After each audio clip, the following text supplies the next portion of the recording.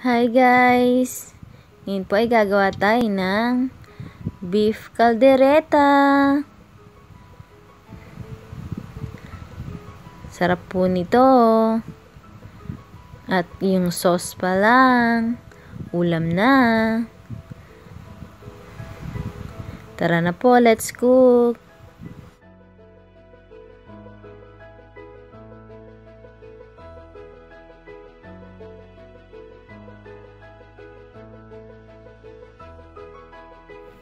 So, first guys, pinakulaan ko muna yung oxtail para tatapon ko tong unang kulo para matanggal yung mga lumulutang na yan.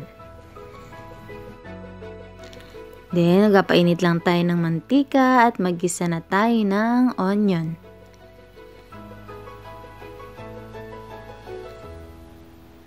ng garlic,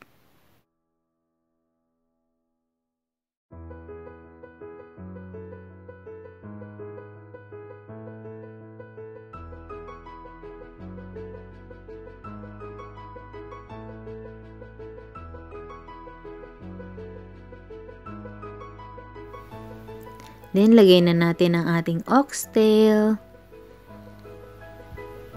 Hinugasan ko siya, guys.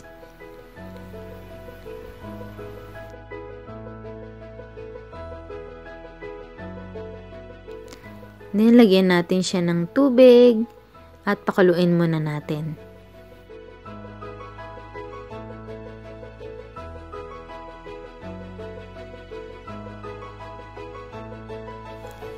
Yan. Magkulo niya, lagay na natin ang ating beef cube. Ang ating tomato sauce.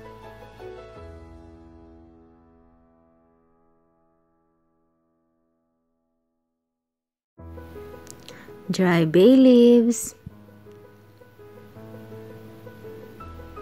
At palambutin muna natin ang ating oxtail.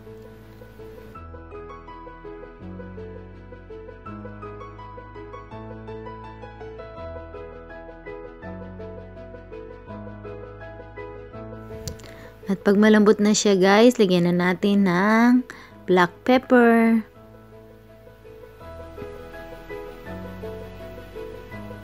Soy sauce.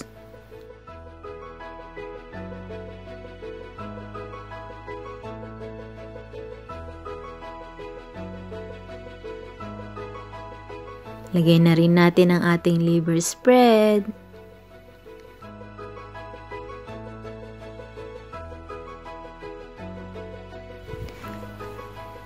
Then, mix lang natin.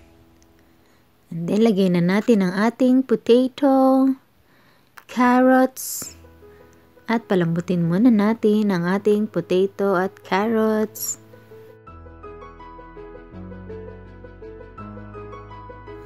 At pag malambot na ang potato at carrots, lagay na natin ang ating bell pepper.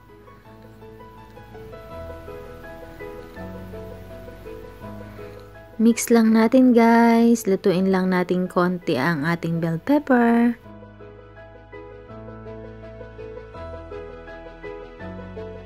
At this time, tikman nyo siya kung dadagdagan pa natin ng asin. Ako po dadagdagan ko pa siya. And mix lang natin.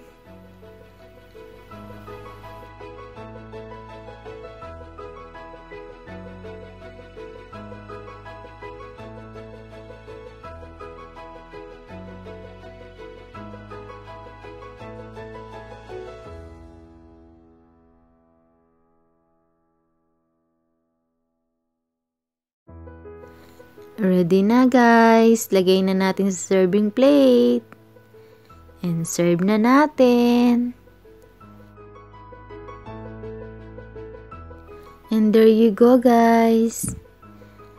Enjoy. Thank you guys for watching. Please subscribe.